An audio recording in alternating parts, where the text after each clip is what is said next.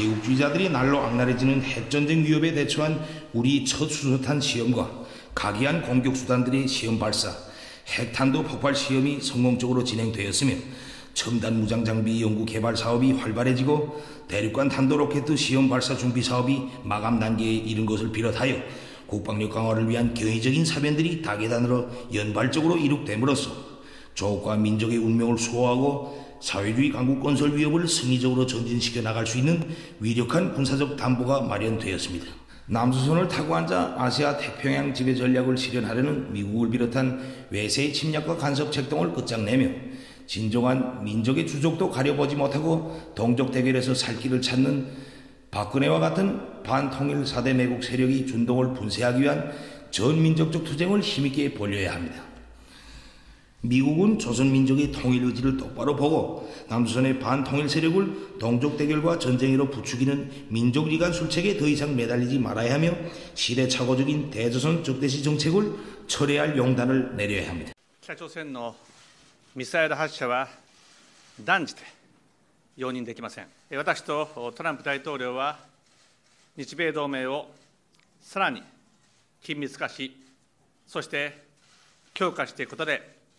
完全に一致をいたしました I just want everybody to understand and fully know that the United States of America stands behind Japan, its great ally, 100 percent. Uh, North Korea has uh, shown itself to be an irresponsible nation in every way, and I'm sure they're testing President Trump. Uh, I was glad he issued the statement with the Prime Minister of Japan, but he also ought to do it quickly with South Korea. South Korea is probably more uh, susceptible to North Korea's uh, virulence than any other country. And there was some doubt cast on the relationship in the campaign uh, by the then candidate Trump. So do the same thing with South Korea that he did with Japan and do it quickly. The real answer to curtailing North Korea is China. Like on so many other areas, China has been woefully inadequate, and they could squeeze North Korea economically. 90% of the imports and exports go through China. And uh, I think we have to tell the Chinese that they have to put the wood to North Korea in a much more uh, serious way than they've done so far. 우리 공화국 정부는 우리 공화국을 압살하는 적들의 제적 등이 계속되는 한 핵무력을 중출하는 자적 국방력과 선지 공격 능력을 계속 강화하는 것이라는 원칙적 입장을 명백히 밝혔습니다. 우리 인민은 반드시 우리의 힘으로 우리 국가와 세계 평화 안전을 수호하는 데 적극 기여할 것입니다. 우리는 실생활을 통하여 선군의 힘이 우리 조국을 지키고 민족을 지키는 힘이라는 것을 알게 되었습니다. 우리는 앞으로도 군우가 뭐라고 하든 자주의 길, 선군의 길로 나갈 것입니다. North Korea uses its annual celebration of the birth of the country's founder, Kim Il sung, to flaunt its missile arsenal and show off its armed forces to external enemies. Columns of goose stepping soldiers marched in formation as the country's current leader, Kim Jong un, waved from a balcony. There were several notable missile systems on display at Saturday's military parade.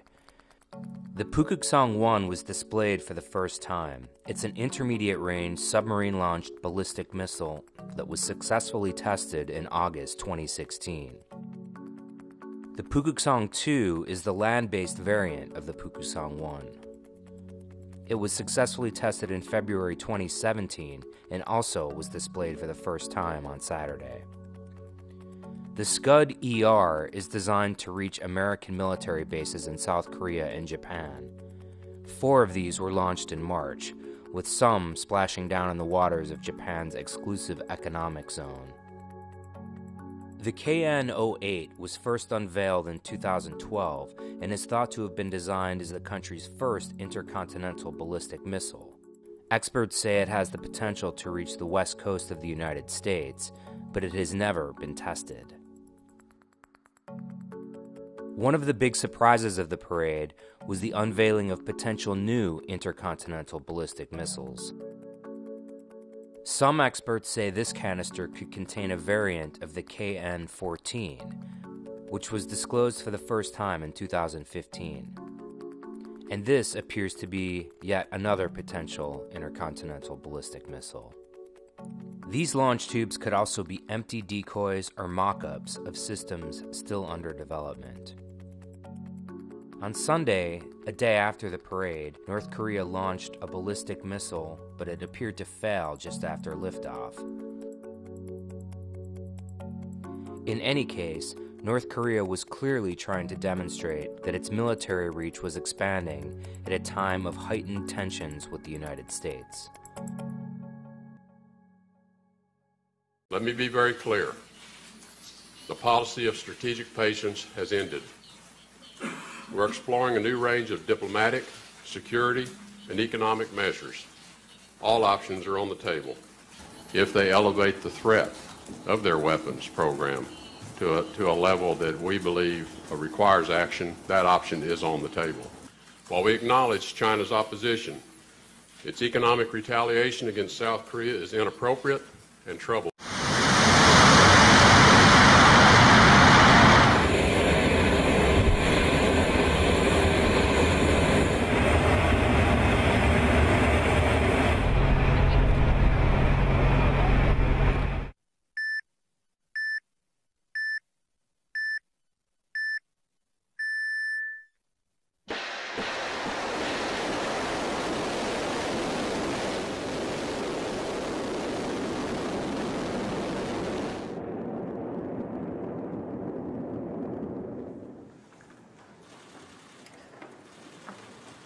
只想强调一点，就是，呃，我们坚决反对美韩在韩国部署萨德反导系统，也将坚决采取必要的措施来维护自身的安全利益。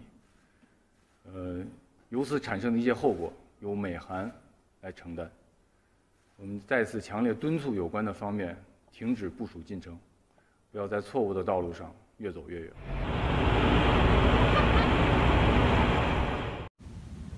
Hi, uh, my name's Kim Han Sol um from uh, North Korea. This is Kim Han Sol. He's a young college educated 20 something, well traveled and fluent in English. I got to meet friends from all over the world. In short, he's the antithesis of what most people in the West think of when they think of North Korea.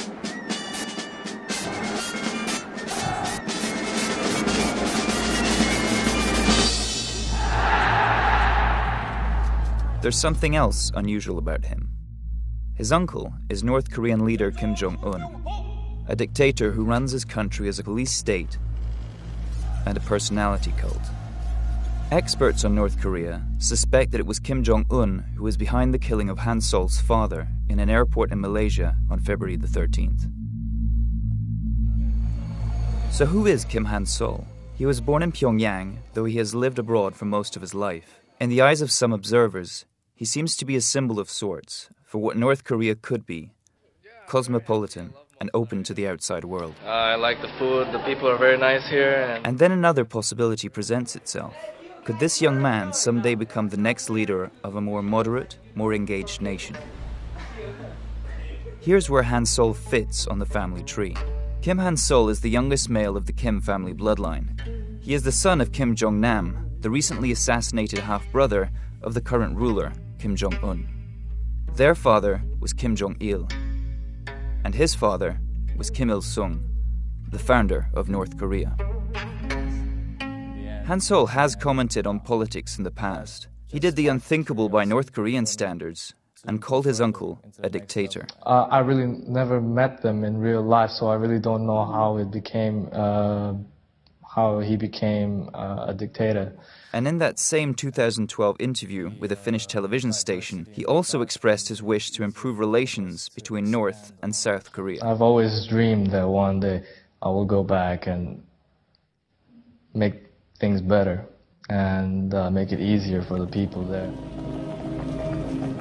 But many experts say the chances of Han Sol one day leading North Korea are slim.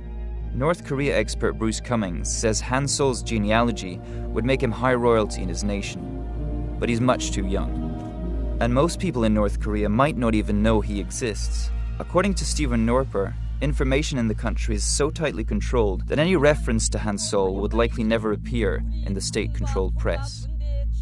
It also seems highly unlikely current leader Kim Jong un would pick a successor who has been so openly critical of him. Among North Korean elites, any defectors are considered enemies of the regime. Andrei Lankov says Hansol would be considered an apostate. And his bloodline might even pose a threat to his life, like it did to his father, who was killed although he kept a low profile and was not known to have any political aspiration. Purges and targeted killings have allowed Kim Jong un to consolidate his power.